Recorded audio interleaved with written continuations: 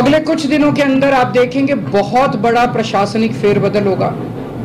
कई सारे ऑफिसर्स को, कर्मचारियों को ट्रांसफ़र किया जाएगा। इस आधार पे कि उन्होंने अभी तक कैसा काम किया। कुछ ऐसे ऑफिसर्स हैं, कुछ ऐसे कर्मचारी हैं जिन्होंने पिछले कुछ महीनों में, एक डेढ़ साल में दिल्ली की जनता के काम रोके। कुछ ऐसे ऑफिसर्स हैं जिन्होंने दिल्ली में मोहल्ला क्लिनिक में दवाइयाँ बंद करा दी। अस्पतालों के अंदर दवाइयाँ बंद करा दी। जल बोर्ड की पेमेंट रोक के कई जगह पानी बंद करा दिया। ऐसे कर्मचारियों को ऑफिसर्स को चिन्हित करके उनको अपने कर्मों का फल तो भुगतना पड़ेगा। केंद्र सरकार एक तरह से प्रधानमंत्री जी खासतौर एक तरह से पिता समान होते हैं। जैसे परिवार में पिता होता है। पिता समान होते हैं। पिता की ज़िम्मेदारी होती है कि सारे बच्चों को अच्छे से उनका पालन पोषण करें। अगर दिल्ली में आम आदमी पार्टी की सरकार है तो वो हमारे भी प्रधानमंत्री हैं, हम भी उन्हीं की तरफ़ देखते हैं। चाहे बीजेपी की किसी राज्य में सरकार है, किसी में कांग्रेस की सरकार है, किसी में आम आदमी पार्टी की सरकार है, वो सारे के सारे प्रधानमंत्री को एक तरह से पिता समान देखते हैं कि भाई, ये कोई मुसीबत आएगी तो हमारी मदद करेंगे। लेकिन अगर जैसे ये 23 मई 2015 को आदेश पारित करके दिल्ली सरकार की पावर छीन ली गई। आठ साल तक हमें बिना पावर के काम करना पड़ा। काम रुक गया। किसका फ़ायदा हुआ? आज सुप्रीम कोर्ट ने साबित कर दिया कि ये गलत था ये ऑर्डर नहीं यार, अब हमें काम करने दो। इतना टाइम तो खराब कर दिया। अगर आपने दिल्ली पे राज करना है तो दिल्ली के लोगों का दिल जीतो ना, कि अगली बार आम आदमी पार्टी को वोट ही ना दें लोग। ऐसा काम करो। मतलब काम में टांग क्यों उड़ा रहे हो? जब तक हमारी सरकार है, हमें काम करने दो। कल तुम जीत लेना, तुम काम कर लेना। आज सुप्रीम कोर्ट का जो ऑर्डर आया है, ये कई मायनों में बहुत ही ऐतिहासिक ऑर्डर है। दिल्ली के लोगों की बहुत बड़ी जीत है। दिल्ली के लोगों के साथ जो अभी तक अन्याय होता आया, उनके साथ माननीय सुप्रीम कोर्ट ने न्याय किया है। आज से आठ साल पहले 23 मई 2015 को, हमारी 14 फरवरी 2015 को सरकार बनी थी। फरवरी, मार्च, अप्रैल, मई, तीन महीने के अंदर सरकार बनने के तीन महीने के अंदर ही, जैसी हमारी सरकार बनी, सड़सठ सीट आई, तीन महीने के अंदर ही प्रधानमंत्री जी ने एक आदेश पारित करवाया केंद्र सरकार से कि दिल्ली के सर्विसेज़ के मामले, अब दिल्ली की मुख्यमंत्री के पास नहीं रहेंगे, वो एलजी के पास रहेंगे या केंद्र सरकार के पास रहेंगे? इसका क्या मतलब हुआ? इसका मतलब ये हुआ कि दिल्ली सरकार में काम करने वाले जितने भी ऑफिसर हैं, जितने भी कर्मचारी हैं ऊपर से लेके नीचे तक आईएएस अफसर से क्लास ए से लेके क्लास फोर कर्मचारी तक, चपरासी तक, सारे कर्मचारियों की ट्रांसफ़र पोस्टिंग उनकी डिसिप्लिनरी प्रोसीडिंग्स नई अपॉइंटमेंट पोस्ट क्रिएट करना पोस्ट एबॉलिश करना, पक्के करना, ये सारा जो है, ये अब दिल्ली की चुनी हुई सरकार के पास नहीं होगा। यानी कि अगर मैं मुख्यमंत्री हूँ मेरे सामने कोई कर्मचारी रिश्वत ले रहा है, मैं उसे सस्पेंड भी नहीं कर सकता। मैं उसकी ट्रांसफ़र नहीं कर सकता। एजुकेशन सेक्रेटरी कौन होगा, ये हम नहीं तय कर सकते। हेल्थ सेक्रेटरी कौन होगा, ये हम नहीं तय कर सकते। ये आदेश प्रधानमंत्री जी ने 23 मई 2015 को पारित किया। आठ साल को इस्तेमाल करके दिल्ली के कामों को जानबूझ के रोका गया। हम दिल्ली में स्कूल अच्छे करना चाहते थे तो वो जानबूझ के ऐसा एजुकेशन सेक्रेटरी बिठाएँगे जो कि काम ना करे। हम अगर मोहल्ला क्लिनिक बनाना चाहते हैं तो जानबूझ के ऐसा हेल्थ सेक्रेटरी बनाया जाएगा जो कि काम ना करे। जानबूझ के ऐसा फाइनेंस सेक्रेटरी बिठाया जाएगा जो हर चीज़ के अंदर अड़ंगा अड़ाए तो इसको इस्तेमाल करके दिल्ली के हर काम को रोका गया। एक तरह से मेरे दोनों हाथ बाँध दिए गए पीछे। और मुझे नदी में फेंक दिया गया कि अब तैरो। ये तो ऊपर वाले का शुक्र है कि दोनों हाथ बंधे हुए होने के बावजूद भी हम किसी तरह से तैरते रहे और ऊपर वाला हमारा साथ देता रहा। इन सारी कठिनाइयों के बावजूद दिल्ली के अंदर हम लोगों ने इतना शानदार काम किया पिछले आठ साल के अंदर। तो आप सोच सकते हैं कि अगर हमें, हमारे पास पूरी पावर होती तो हम कितना ज़्यादा काम कर सकते थे। आज हम सुप्रीम कोर्ट के जस्टिस चंद्रचूड़ के जो और चारों जजेस हैं उस बेंच में, संविधान पीठ में, उन सब के तहे दिल से शुक्रिया अदा करते हैं कि उन्होंने हमारे साथ न्याय किया। मैं दिल्ली की जनता को केवल बधाई दे, नहीं देना चाहता, बधाई देना चाहता हूँ और उनका शुक्रिया करना चाहता हूँ कि जो इतना लंबा संघर्ष था, उस संघर्ष में दिल्ली की जनता ने मेरा साथ दिया। दिल्ली की जनता के साथ के बिना मैं कुछ नहीं कर सकता था। आज जो ये इतनी बड़ी जीत हुई है, ये उन्हीं के आशीर्वाद, दिल्ली की जनता के आशीर्वाद और उनके उनके साथ का, उनके सहयोग का नतीजा है। कदम कदम पे उन्होंने मेरा साथ दिया, दिल्ली की जनता ने। अब हमें एक बहुत बड़ा मौका मिला है। दिल्ली का काम जो है, अब ये दस गुना स्पीड से होगा। आज के आदेश के बाद। बहुत बड़े बड़े काम होंगे अब दिल्ली के अंदर जो सोच भी नहीं सकते। सबसे इंपॉर्टेंट है हमें एक ऐसा प्रशासन देना है दिल्ली के लोगों को जो कि रेस्पॉन्सिव हो, जो कि जनता की ज़रूरतों के प्रति सिंपथेटिक हो कंपैशनेट हो। तो अगले कुछ दिनों के अंदर आप देखेंगे बहुत बड़ा प्रशासनिक फेरबदल होगा। कई सारे ऑफिसर्स को, कर्मचारियों को ट्रांसफ़र किया जाएगा। इस आधार पे कि उन्होंने अभी तक कैसा काम किया। कुछ ऐसे ऑफिसर्स हैं, कुछ ऐसे कर्मचारी हैं जिन्होंने पिछले कुछ महीनों में, एक डेढ़ साल में, दिल्ली की जनता के काम रोके। कुछ ऐसे ऑफिसर्स हैं जिन्होंने दिल्ली में मोहल्ला क्लिनिक में दवाइयाँ बंद करा दी।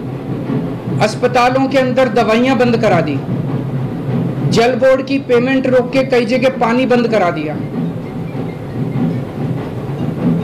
ऐसे कर्मचारियों को ऑफिसर्स को चिन्हित करके उनको अपने कर्मों का फल तो भुगतना पड़ेगा। लेकिन बहुत सारे ऐसे कर्मचारी और ऑफिसर्स हैं जो बहुत घुटन महसूस कर रहे थे, ईमानदार लोग हैं, काम करना चाहते हैं। उन सारे कर्मचारियों को, उन सारे ऑफिसर्स को मौका मिलेगा काम करने का। उन सबको जो डेडवुड है, जो करप्ट हैं जो इनएफिशिएंट हैं, उनको अच्छी पोस्टों से हटा के साइड किया जाएगा और जो अच्छे हैं एफिशिएंट हैं, ईमानदार हैं रेस्पॉन्सिव हैं कंपैशनेट हैं, उन लोगों को, उन सारे अधिकारियों को और कर्मचारियों को मौका दिया जाएगा कि वो दिल्ली की जनता की सेवा कर सकें। सारे प्रशासनिक सिस्टम को भी दुरुस्त किया जाएगा। ये सारा सिस्टम भी सड़ा गला सिस्टम है। ऐसा सिस्टम बनाया जाएगा जो जनता के प्रति जवाबदेह हो और जनता के लिए रिस्पॉन्सिव हो, जनता की ज़रूरतों के प्रति रिस्पॉन्सिव हो। तो व्यवस्था के अंदर जितनी कमियाँ हैं, इन सारी कमियों को दूर किया जाएगा। तो पूरे सिस्टम को और ऑफिसर्स को और कर्मचारियों को जनता के प्रति जवाबदेह बनाया जाएगा और जनता के लिए रेस्पॉन्सिव बनाया जाएगा। एक लीन एंड थिन गवर्नमेंट तैयार की जाएगी। Lean thin responsive compassionate and accountable government ये हम चाहते हैं दिल्ली, जैसे दिल्ली ने पूरे देश को शिक्षा का मॉडल दिया हेल्थ का मॉडल दिया अब एक ऐसे गवर्नेंस का एडमिनिस्ट्रेशन का मॉडल हम जनता के सामने रखेंगे, पूरे देश के सामने रखेंगे। मैं देखता हूँ कि कई ऐसी पोस्ट्स हैं, जिनकी ज़रूरत नहीं है। उनमें कोई भी कर्मचारी या अधिकारी बैठ के जनता की चार अड़चने ही लगाता है। अगर वो ना रहे तो ज़्यादा अच्छा रहेगा। तो ऐसी पोस्ट्स को चिन्हित करके या तो उन्हें खाली छोड़ा जाएगा या उन्हें अबॉलिश कर दिया जाएगा। जहाँ जहाँ ज़्यादा पोस्ट्स की ज़रूरत है, वहाँ ज़्यादा पोस्ट क्रिएट की जाएँगी। जहाँ जहाँ लोगों को ज़रूरत है, वहाँ ज़्यादा पोस्ट जैसे अब इतने मोहल्ला क्लिनिक बना रहे हैं तो जब डॉक्टर्स की ज़रूरत है पैरामेडिक्स वहाँ और क्रिएट किए जाएँगे। तो अभी तक हम लोगों ने स्कूल अस्पताल में एक मॉडल दिया। अब पंजाब के अंदर हम एक अच्छे लॉ एंड ऑर्डर कानून व्यवस्था लागू कर रहे हैं। उसी तरह से दिल्ली अब कुशल प्रशासन का एक मॉडल पूरे देश के सामने देगा। मैं एक बार फिर से दिल्ली की जनता का बहुत बहुत आभार व्यक्त करना चाहता हूँ, जिन्होंने पूरे संघर्ष में हम लोगों का साथ दिया। हैं जी। बिल्कुल होगी। सर्विसेज़ आने के बाद हम नई पोस्ट क्रिएट कर सकते हैं पुरानी पोस्ट से बॉलिश कर सकते हैं कुछ भी कर सकते हैं। ए सी भी अभी चुनी हुई सरकार के पास नहीं है लेकिन विजिलेंस अब आ, आ गया है। तो जो लोग अगर गलत काम करेंगे भ्रष्टाचार करेंगे कानून के हिसाब से काम नहीं करेंगे उनके ऊपर विजिलेंस की कार्रवाई डिसिप्लिनरी प्रोसीडिंग्स विजिलेंस प्रोसीडिंग्स की जा सकती है। सर सर शाम को आप एलजी साहब से मिलने जा रहे हैं उसमें क्या बातचीत होने की संभावना है? क्या आप करेंगे कि वो अब और किसी प्रकार का अड़ंगा ना लगाए? और सुप्रीम कोर्ट ने जो निर्देश दिया उनसे आशीर्वाद लेने जा रहा हूँ। आपको लग रहा है कि ये पावर तो मिल गई है पावर ज़्यादा ज़िम्मेदारी बढ़ गई है अब आपकी, क्योंकि अब तक बहुत सारी अड़चने भी आपने बताई, लेकिन वो काम आपको कराना ही होगा। नहीं, ज़िम्मेदारी तो पहले भी थी। वो ज़िम्मेदारी विदाउट पावर थी। अब ज़िम्मेदारी विद पावर आ गई है। जिम्मेदार, देखिए, जब भी जनता वोट देती थी तो वो तो यही कहती थी, जी, हमने तो केजरीवाल को वोट दे दिया, अब केजरीवाल जाने पावर है कि नहीं है उसके पास? जनता को, कि बेचारों को क्या पता टीबीआर क्या होता है? Article two thirty nine double A four क्या होता है? उनको क्या पता बेचारों को?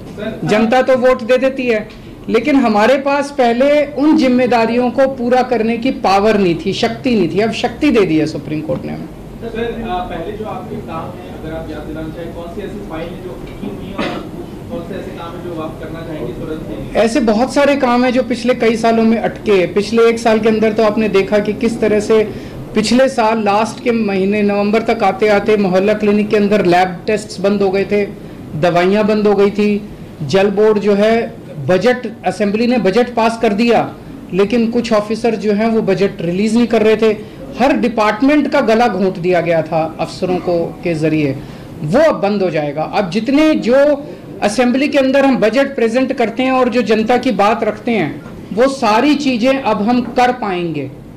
सर अधिकारियों की मीटिंग आपने बुलाई है बड़े अधिकारियों क्योंकि कहा जाता है कि एजी की यदि अब तक सीएस काम करते रहे तो क्या उन्हें मीटिंग के लिए आपने बुलाया ज़रूर बनाएँगे अब आने वाले टाइम में मीटिंग्स तो होती रहेंगी। सर अभी हाल के दिनों में बहुत सारे ऐसे फैसले एलजी ने लिए जो कि मतलब सरकार के अधिकारों का उल्लंघन करके खुद से लिए गए। क्या अब उन फैसलों को रिव्यू भी किया जाएगा? वो फैसले कई सारे गलत हैं।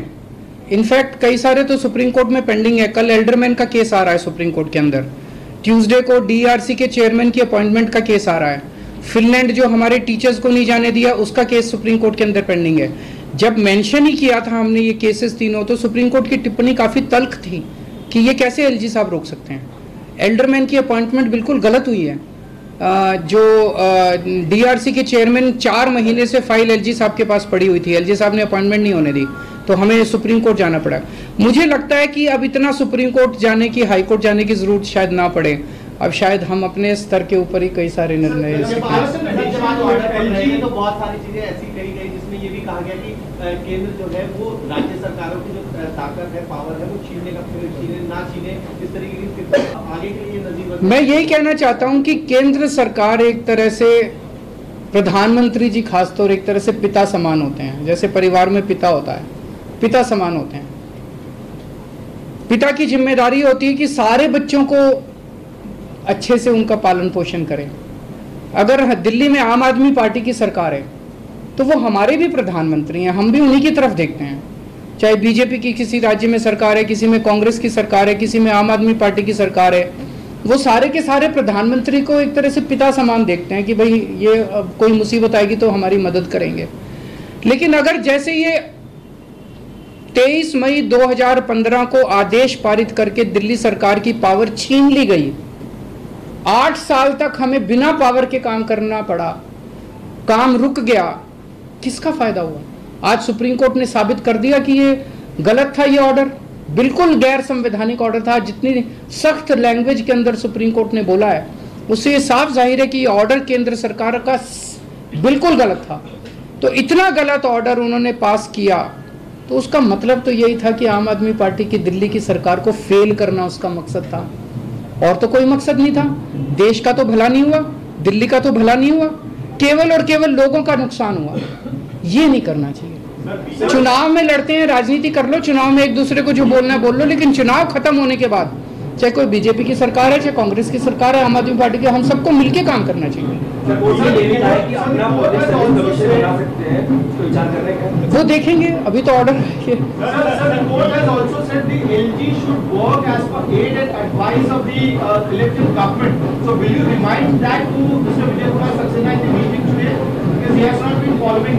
जब उनका आशीर्वाद लेने जा रहे हैं तो सारी चीज़ों पे आशीर्वाद है जी। मिलके काम करेंगे। बीजेपी के नेता कुछ बयान ऐसा भी आ रहा है कि अभी संसद भी है सकता है अगर बदलाव कर देंगे बड़ी बेंच के पास भी जाया जा सकता है। ये पहले भी कोर्ट में दलील दी थी केंद्र सरकार ने की तरफ़ से कि नौ बेंच के बेंच के पास जाया जा सकता इस मामले को लेकर। मेरे ख्याल से अब लार्जर बेंच नहीं आज उन्होंने क्लियर कर दिया। फाइव जज बेंच को अगर रेफर करना होता तो वो आज ही कर देते। तो लार्जर बेंच का ऑप्शन नहीं है। मेरी अब उनसे यही निवेदन है यार अब हमें काम करने दो। इतना टाइम तो खराब कर दिया। अगर आपने दिल्ली पे राज करना है तो दिल्ली के लोगों का दिल जीतो ना। कि अगली बार आम आदमी पार्टी को वोट ही ना दें लोग। ऐसा काम करो। मतलब काम में टांग क्यों उड़ा रहे हो? जब तक हमारी सरकार है हमें काम करने दो। कल तुम जीत लेना तुम काम कर लेना। टांग तो नहीं अड़ानी चाहिए।